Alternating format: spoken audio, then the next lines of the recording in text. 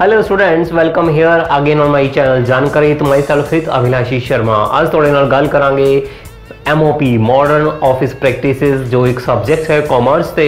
Vocational stream ਨਾਲ related ਉਹਦੇ ਵਿੱਚ ਬੜਾ ਇੰਪੋਰਟੈਂਟ ਇਸ਼ੂ ਹੈ ਇੰਪੋਰਟੈਂਸ ਔਰ ਪਲੇਸ ਆਫ ਐਨ ਆਫਿਸ ਆਧੁਨਿਕ ਸਮੇਂ ਦੇ ਵਿੱਚ ਇੱਕ ਆਫਿਸ ਦੀ ਕੀ ਮਹੱਤਤਾ ਹੈ, ਕੀ ਸਥਾਨ ਰੱਖਦਾ ਇਸ ਦੇ ਬਾਰੇ ਡਿਟੇਲਸ ਗੱਲ ਕਰਾਂਗੇ ਅੱਜ ਦੀ ਵੀਡੀਓ ਦੇ ਵਿੱਚ। Let's move ahead with me to discuss today's content The office in a business is as a mainspring in a watch. Yes. दोबारा सुनो the office in a business is as as a main spring in a watch ਜਿਸ ਤਰ੍ਹਾਂ ਇੱਕ ਘੜੀ ਦੇ ਵਿੱਚ main spring ਹੁੰਦਾ ਜਿਸ ਨਾਲ ਘੜੀ ਦੀ ਸਾਰੀ ਮਸ਼ੀਨ ਚੱਲਦੀ ਹੈ ਟਾਈਮ ਦੱਸਦੀ ਹੈ ਸਿਮਿਲਰਲੀ ਕਿਸੇ ਬਿਜ਼ਨਸ ਦੇ ਵਿੱਚ ਆਰਗੇਨਾਈਜੇਸ਼ਨ ਦੇ ਵਿੱਚ ਆਫਿਸ ਦਾ ਵੀ ਸੇਮ ਸਥਾਨ ਹੈ office has become completely inevitable part of any business. It plays very important role either in today's arena or we we can say about even in the past ਜਦੋਂ ਤੋਂ ਮਨੁੱਖੀ ਇਤਿਹਾਸ ਸਾਡੇ ਸਾਹਮਣੇ ਦੇਖਣ ਨੂੰ ਮਿਲਦਾ ਹੈ, ਜਦੋਂ ਤੋਂ ਮਨੁੱਖੀ ਸਭਿਅਤਾ ਨੇ ਵਿਕਾਸ ਕਰਨਾ ਸ਼ੁਰੂ ਕੀਤਾ ਇਕਨੋਮਿਕ ਪੱਖ ਤੋਂ ਦੇਖੀਏ ਤਾਂ ਹਰ ਇੱਕ ਆਰਗੇਨਾਈਜੇਸ਼ਨ ਦੇ ਵਿੱਚ ਦਫ਼ਤਰ ਦੀ ਅਹਿਮ ਭੂਮਿਕਾ ਉਸ ਤੋਂ ਬਿਨਾ ਨਾ ਤਾਂ ਪਹਿਲਾਂ ਕੋਈ ਆਰਗੇਨਾਈਜੇਸ਼ਨ ਜਾਂ ਬਿਜ਼ਨਸ ਸੰਸਥਾਨ ਚੱਲ ਸਕਦਾ ਸੀ, ਨਾ ਅੱਜ ਚੱਲ ਚੱਲ ਸਕਦਾ, ਨਾ ਫਿਊਚਰ ਦੇ ਵਿੱਚ ਚੱਲ ਪਾਏਗਾ। So it plays very important role ਸਾਨੂੰ ਸਾਰਿਆਂ ਨੂੰ ਇੱਕ ਚੀਜ਼ ਪਤਾ ਹੋਣੀ ਚਾਹੀਦੀ ਹੈ ਕਿ ਆਫਿਸ ਨਾਲ ਰਿਲੇਟਡ ਦੋ ਵੀਡੀਓਜ਼ ਆਲਰੇਡੀ ਐਮਓਪੀ ਸਬਜੈਕਟ ਉੱਤੇ ਬੇਸਡ ਤੁਹਾਡੇ ਨਾਲ ਮੈਂ ਇਸ ਚੈਨਲ ਤੇ ਸ਼ੇਅਰ ਕਰ ਚੁੱਕਿਆ ਉਸ ਦਾ ਲਿੰਕ ਨੀਚੇ ਦੇ ਰਿਹਾ, ਤੁਸੀਂ ਉਸ ਨੂੰ ਦੇਖ ਕੇ ਉਹਨਾਂ ਚੀਜ਼ਾਂ ਨੂੰ ਦੇਖ ਸਕਦੇ ਹੋ, ਜਿੱਥੇ ਮੈਂ ਆਫਿਸ ਦਾ ਜੋ ਬੇਸਿਕ ਇੰਟਰੋਡਕਟਰੀ ਐਸਪੈਕਟ ਸੀ, ਉਹਦੇ ਫੈਕਟਰਸ ਉਹਦੇ ਸਾਈਜ਼ ਨੂੰ ਇੰਪੈਕਟ ਕਰਨ ਵਾਲੇ ਜਾਂ ਫੰਕਸ਼ਨਸ ਆਫ ਆਫਿਸ ਉਹਨਾਂ ਸਾਰੇ ਕਨਸੈਪਟਸ ਨੂੰ ਤੁਸੀਂ ਆਲਰੇਡੀ ਇਸ ਚੈਨਲ ਤੇ ਦੇਖ ਸਕਦੇ ਹੋ। ਅੱਜ ਤੀਸਰੀ ਵੀਡੀਓ ਦੇ ਵਿੱਚ ਤੁਹਾਡੇ ਨਾਲ ਮੈਂ ਜਿਸ ਟੌਪਿਕ ਤੇ ਗੱਲ ਕਰ ਰਿਹਾ that is the importance of an office or we can say place of an office or place of modern office ਆਓ ਗੱਲ ਕਰਦੇ ਹਾਂ ਇਸ ਦੇ ਬਾਰੇ। ਇੱਕ ਚੀਜ਼ ਸਾਫ਼ ਹੈ ਆਫਿਸ ਕੀ ਹੈ? ਪਹਿਲਾਂ ਇਹਦੇ ਬਾਰੇ ਗੱਲ ਕਰੀਏ। ਬਹੁਤ ਸਾਰੇ ਜਿਹੜੇ ਸਕਾਲਰਸ ਨੇ, ਉਹ ਕਹਿੰਦੇ ਨੇ ਆਫਿਸ ਇਜ਼ ਅ ਪਲੇਸ ਕਈ ਕਹਿੰਦੇ ਨੇ ਆਫਿਸ ਇਜ਼ ਅ ਐਕਟ ਮਤਲਬ ਜਸਟ ਐਕਸ਼ਨ ਹੈ ਇੱਕ ਕਿਸ ਚੀਜ਼ ਦਾ ਐਕਸ਼ਨ ਹੈ ਜਾਂ ਪਲੇਸ ਹੈ ਇਹਦੇ ਬਾਰੇ ਗੱਲ ਕਰਦੇ ਹਾਂ office is a such a place where all acts of collecting processing storing and distributing information are taking place ਧਿਆਨ ਨਾਲ ਦੁਬਾਰਾ ਬੋਲ ਰਿਹਾ ਮੈਂ ਇੱਕ ਇੱਕ ਸ਼ਬਦ ਧਿਆਨ ਨਾਲ ਸੁਣੋ office is such a place where acts of collecting processing storing and distribution of information are taking place ਜ਼ਰੂਰੀ ਨਹੀਂ is a place office is such a act where all acts of collecting, processing, storing and distribution of information taking place. Office ਇੱਕ ਸਥਾਨ ਹੈ office ਇੱਕ ਪ੍ਰਕਿਰਿਆ ਹੈ ਜਿੱਥੇ ਕੀ ਹੁੰਦਾ ਹੈ ਕਲੈਕਟ ਕੀਤਾ ਜਾਂਦਾ ਹੈ ਇਨਫੋਰਮੇਸ਼ਨ ਨੂੰ ਪ੍ਰੋਸੈਸਿੰਗ ਕੀਤਾ ਜਾਂਦਾ ਹੈ ਸਟੋਰ ਕੀਤਾ ਜਾਂਦਾ ਹੈ ਡਿਸਟ੍ਰੀਬਿਊਟ ਕੀਤਾ ਜਾਂਦਾ ਹੈ ਜਿਸ ਨੂੰ ਵੀ ਜ਼ਰੂਰਤ ਹੈ ਉਸ ਸਾਰਿਆਂ ਨੂੰ ਉਸ ਐਕਸ਼ਨ ਨੂੰ ਜਾਂ ਉਸ ਪਲੇਸ ਨੂੰ ਅਸੀਂ ਆਫਿਸ ਕਹਿੰਦੇ ਹਾਂ it plays very important role ਜਦੋਂ ਵੀ ਅਸੀਂ ਆਫਿਸ ਦੀ ਗੱਲ ਕਰਦੇ ਹਾਂ, ਕਿਸੇ ਵੀ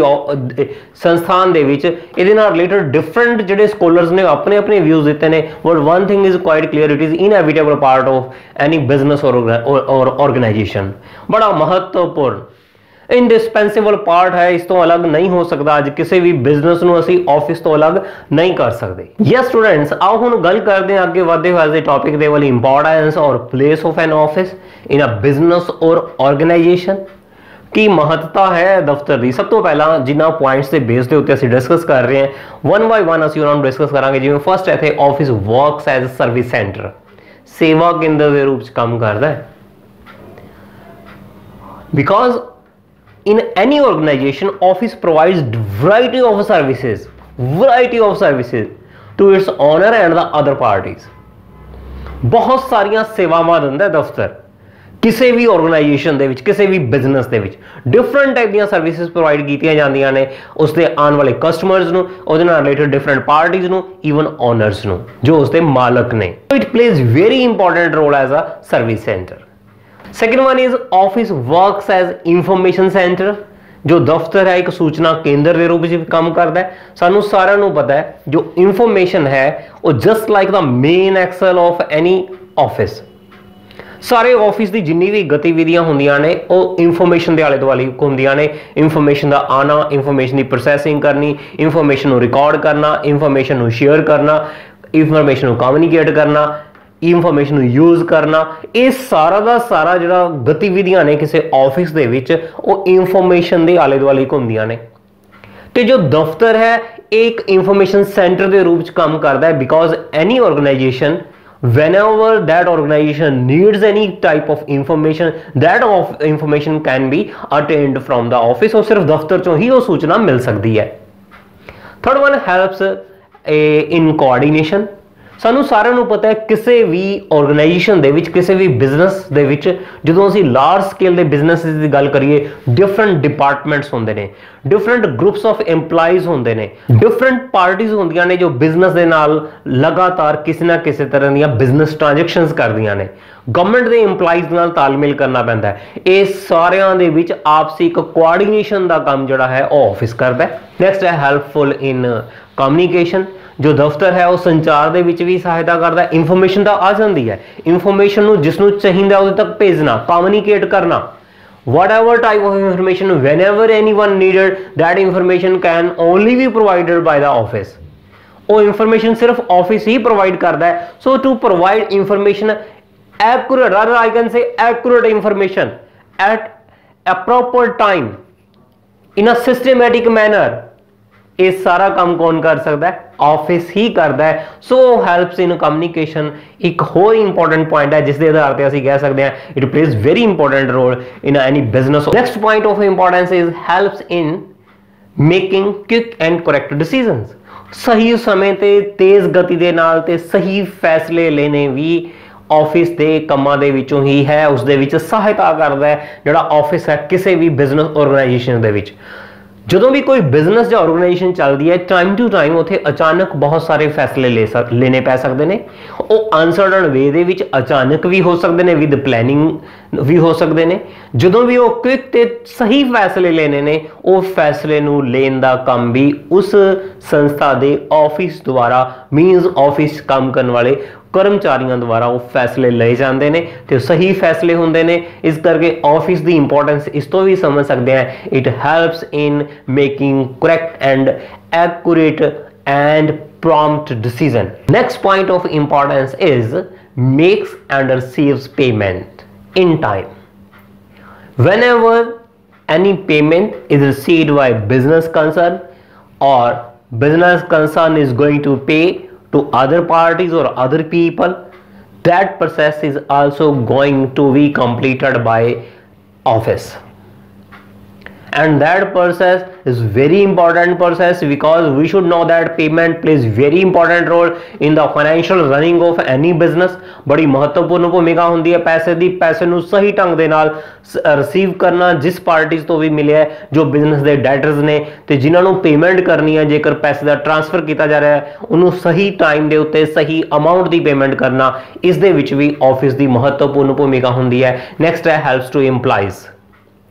ਦਫ਼ਤਰ ਸਿਰਫ ਬਾਹਰਲੇ ਲੋਕਾਂ ਜਾਂ ਬਾਹਰਲੀ ਪਾਰਟੀ ਜੋ ਦਫ਼ਤਰ ਦੇ ਵਿੱਚ ਕੰਮ ਕਰਨ ਲਈ ਆਉਂਦੀਆਂ ਨੇ, ਉਹਨਾਂ ਨਾਲ ਉਹਨਾਂ ਦੀ ਸਹਾਇਤਾ ਲਈ ਨਹੀਂ ਬਣਿਆ ਹੁੰਦਾ। ਬਲਕਿ ਜੋ ਦਫ਼ਤਰ ਦੇ ਅੰਦਰ ਕੰਮ ਕਰਨ ਵਾਲੇ, ਉਸ ਆਰਗੇਨਾਈਜੇਸ਼ਨ ਕੰਮ ਕਰਨ ਵਾਲੇ EMPLOYEES ਨੇ, ਉਹਨਾਂ ਦੀ ਸਹਾਇਤਾ ਵੀ ਕਰਦਾ ਹੈ। EMPLOYEES ਨੂੰ ਟਾਈਮ ਟੂ ਟਾਈਮ ਉਹਨਾਂ ਦੀ ਸੈਲਰੀ ਦੇ ਰਿਗਾਰਡਿੰਗ ਕੋਈ ਇਨਫੋਰਮੇਸ਼ਨ ਦੇਣੀ ਹੈ, ਉਹਨਾਂ ਦੀ ਟੈਕਸ ਡਿਡਕਸ਼ਨ ਦੇ ਰਿਗਾਰਡਿੰਗ ਕੋਈ ਇਨਫੋਰਮੇਸ਼ਨ ਦੇਣੀ ਹੈ, ਉਹਨਾਂ ਦੇ ਕੋਈ ਡਾਕੂਮੈਂਟਰੀ ਪ੍ਰੂਫਸ ਕੋਈ ਐਵੀਡੈਂਸ ਕਲੈਕਟ ਕਰਨੇ ਨੇ EMPLOYEES ਤੋਂ, ਉਹ ਸਾਰਾ ਕੁਝ ਕਰਨ ਦੇ ਵਿੱਚ, ਪੂਰਨ ਰੂਪ ਦੇ ਵਿੱਚ ਆਫਿਸ ਬੜੀ ਮਹੱਤਵਪੂਰਨ ਭੂਮਿਕਾ ਨਿਭਾਉਂਦਾ ਹੈ। EMPLOYEES ਨੂੰ ਟਾਈਮ ਟੂ ਟਾਈਮ ਹਰ ਟਾਈਪ ਦੀ ਹੈਲਪ ਦੇਣ ਦਾ ਕੰਮ ਦਫ਼ਤਰ ਹੀ ਕਰਦਾ ਹੈ, ਕਿਸੇ ਵੀ ਆਰਗੇਨਾਈਜੇਸ਼ਨ ਦੇ ਵਿੱਚ। Next point of importance is helps in formulation of policies and execution ਜੋ ਦਫ਼ਤਰ ਹੈ, ਉਹ ਸਮੇਂ-ਸਮੇਂ ਦੇ ਉੱਤੇ, ਕਿਸੇ ਵੀ ਆਰਗੇਨਾਈਜੇਸ਼ਨ ਦੇ ਵਿੱਚ, ਨੀਤੀਆਂ ਬਣਾਉਣ ਤੇ ਉਹਨਾਂ ਨੂੰ ਲਾਗੂ ਕਰਨ ਦੇ ਵਿੱਚ ਪੂਰਨ ਰੂਪ ਦੇ ਵਿੱਚ ਸਹਾਇਤਾ ਕਰਦਾ ਹੈ। ਕਿਉਂਕਿ ਜੋ ਡਿਫਰੈਂਟ EMPLOYEES ਹੁੰਦੇ ਨੇ ਗਰੁੱਪ ਆਫ EMPLOYEES ਹੁੰਦੇ ਨੇ, ਕਿਸੇ ਟੌਪ ਮੋਸਟ ਐਗਜ਼ੀਕਿਊਟਿਵ ਅਥਾਰਟੀ ਦੇ under time to time different type ਦੀਆਂ ਪਾਲਿਸੀਜ਼ ਬਣਾਈਆਂ ਜਾਂਦੀਆਂ ਨੇ। ਉਹਨਾਂ ਪਾਲਿਸੀਜ਼ ਨੂੰ ਬਣਾਉਣ ਦਾ ਕੰਮ, ਬਣਾ ਕੇ ਫਿਰ ਉਹਨਾਂ ਨੂੰ ਲਾਗੂ ਕਰਨ ਦਾ ਕੰਮ ਵੀ ਦਫ਼ਤਰ ਜਾਂ ਦਫ਼ਤਰ ਦੇ ਨਾਲ ਸੰਬੰਧਿਤ ਟੀਮ ਦੁਆਰਾ ਹੀ ਕੀਤਾ ਜਾਂਦਾ ਹੈ। Next point of importance is helps to customers and remove their any complaints. ਜੋ ਦਫ਼ਤਰ ਦਾ ਇੱਕ ਇੰਪੋਰਟੈਂਟ ਕੰਮ ਇਹ ਹੁੰਦਾ ਕਿ ਜੋ ਆਰਗੇਨਾਈਜੇਸ਼ਨ ਨਾਲ ਰਿਲੇਟਡ ਬਹੁਤ ਸਾਰੇ ਗਾਹਕ ਨੇ, ਜੇਕਰ ਉਹਨਾਂ ਨੂੰ ਕੋਈ ਪ੍ਰੋਬਲਮ ਹੈ, ਉਹਨਾਂ ਦੀ ਪ੍ਰੋਬਲਮਸ ਨੂੰ ਪ੍ਰਾਪਤ ਕਰਨਾ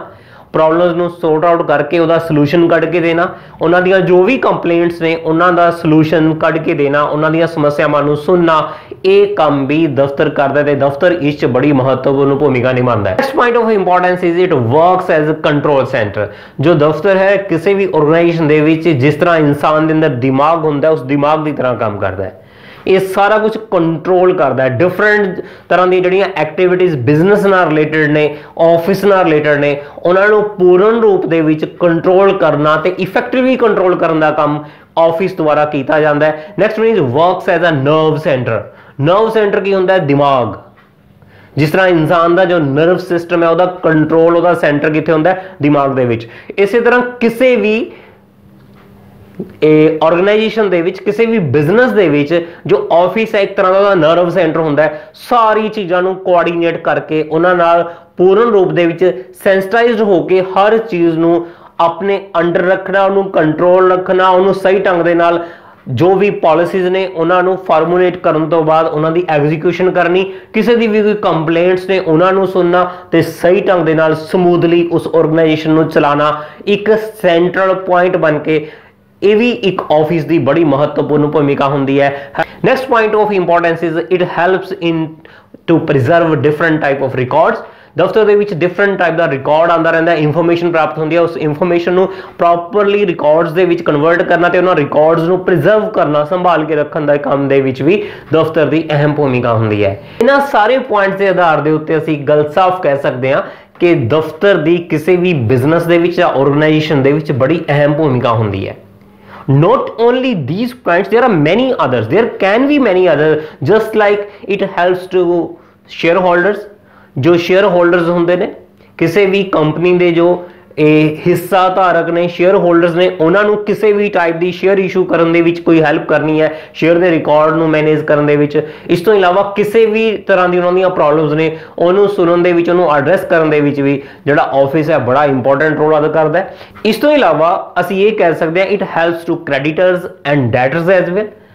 ਕਿਸੇ ਵੀ ਬਿਜ਼ਨਸ ਆਰਗੇਨਾਈਜੇਸ਼ਨ ਦੇ ਜੋ ਡੈਟਰਸ ਤੇ ਕ੍ਰੈਡੀਟਰਸ ਨੇ ਜੋ ਲੈਣਦਾਰ ਤੇ ਦੇਣਦਾਰ ਨੇ, ਉਹਨਾਂ ਦੇ ਨਾਲ ਕਿਸੇ ਵੀ ਤਰ੍ਹਾਂ ਦੀ ਜੇਕਰ ਉਹਨਾਂ ਦੀ ਕੰਸਰਨ ਨੇ, ਉਹਨਾਂ ਦੀ ਸਹਾਇਤਾ ਕਰਦਾ ਹੈ, ਜਦੋਂ ਵੀ ਉਹਨਾਂ ਨੂੰ ਬਿਜ਼ਨਸ ਆਰਗੇਨਾਈਜੇਸ਼ਨ ਦੇ ਵਿੱਚ ਕਿਸੇ ਹੈਲਪ ਦੀ ਜ਼ਰੂਰਤ ਹੈ।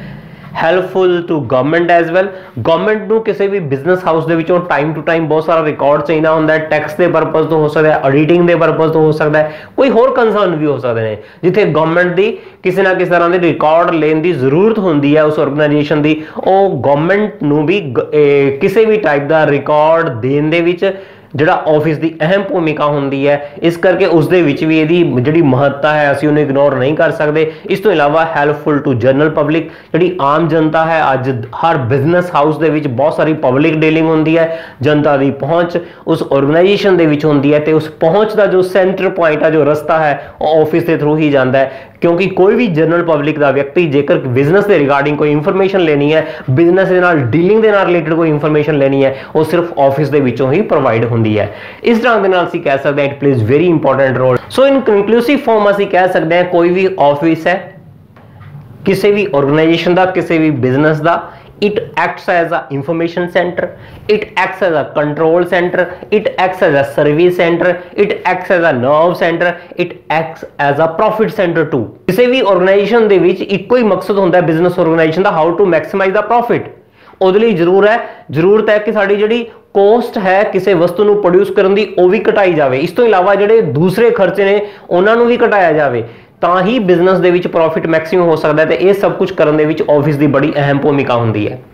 ਇਸ ਤੋਂ ਇਲਾਵਾ ਆਫਿਸ ਦੇ ਇਹਨਾਂ ਪੁਆਇੰਟਸ ਤੋਂ ਅਸੀਂ ਗੱਲ ਹੋਰ ਤੁਹਾਡੇ ਸਾਹਮਣੇ ਆਈ ਨਿਕਲ ਕੇ ਕਿ ਕੋਆਰਡੀਨੇਸ਼ਨ ਚ ਕਮਿਊਨੀਕੇਸ਼ਨ ਚ, ਇਸ ਤੋਂ ਇਲਾਵਾ ਰਿਕਾਰਡ ਨੂੰ ਪ੍ਰੀਜ਼ਰਵ ਕਰਨ ਦੇ ਵਿੱਚ ਕਸਟਮਰਸ ਨੂੰ ਡਿਫਰੈਂਟ ਟਾਈਪ ਦੀ ਸਰਵਿਸਿਜ਼ ਪ੍ਰੋਵਾਈਡ ਕਰਨ ਦੇ ਵਿੱਚ, EMPLOYEES ਨੂੰ ਸਰਵਿਸਿਜ਼ ਪ੍ਰੋਵਾਈਡ ਕਰਨ ਦੇ ਵਿੱਚ ਵੀ ਆਫਿਸ ਦੀ ਅਹਿਮ ਭੂਮਿਕਾ ਹੁੰਦੀ ਹੈ।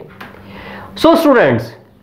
ਐਗਜ਼ਾਮ ਦੇ ਵਿੱਚ ਜਨਰਲੀ ਜਦੋਂ ਸ਼ਾਰਟ ਆਨਸਰ ਟਾਈਪ ਕੁਐਸਚਨਸ ਆਉਂਦੇ ਨੇ ਤਾਂ ਇਹਨਾਂ ਪੁਆਇੰਟਸ ਦੇ ਉੱਤੇ ਹੀ ਬੇਸਡ ਕੁਝ ਕੁਐਸਚਨਸ ਹੋ ਸਕਦੇ ਨੇ ਜਿਸ ਦੇ ਨਾਲ ਅਸੀਂ ਐਗਜ਼ਾਮ ਦੇ ਵਿੱਚ ਇੱਕ ਬੈਟਰ ਪਰਫਾਰਮਰ ਬਣ ਸਕਦੇ yes students I think the whole concept is quite clear and in very easiest way I have explained it in today's video ਬੜਾ ਈਜ਼ੀ ਹੈ ਕਨਸੈਪਟ ਜੇਕਰ ਫਿਰ ਵੀ ਤੁਹਾਡਾ ਕੋਈ ਕੰਸਰਨ ਹੈ ਨੀਚੇ ਮੈਸੇਜ ਬਾਕਸ ਜਾ ਕੇ ਤੁਸੀਂ ਆਪਣਾ ਮੈਸੇਜ ਲਿਖ ਸਕਦੇ ਹੋ I will try to even answer there ਇਸ ਚੈਨਲ ਤੇ ਕਾਮਰਸ ਨਾਲ ਰਿਲੇਟਡ ਹੋਰ ਬਹੁਤ ਸਾਰੀਆਂ ਵੀਡੀਓਜ਼ ਨੇ ਇਕਨੋਮਿਕਸ ਤੇ ਸੋਸ਼ਲ ਇਸ਼ੂ ਨਾਲ ਰਿਲੇਟਡ ਵੀ ਵੀਡੀਓਜ਼ ਨੇ, ਤੁਸੀਂ ਉਹਨਾਂ ਨੂੰ ਵੀ ਦੇਖਦੇ ਰਹੋ। ਆਉਣ ਵਾਲੇ ਸਮੇਂ 'ਚ ਹੋਰ ਬਹੁਤ ਸਾਰੀਆਂ ਵੀਡੀਓਜ਼ ਆਣਗੀਆਂ ਉਹਨਾਂ ਦਾ ਵੀ ਇੰਤਜ਼ਾਰ ਕਰੋ। Till then thank you very much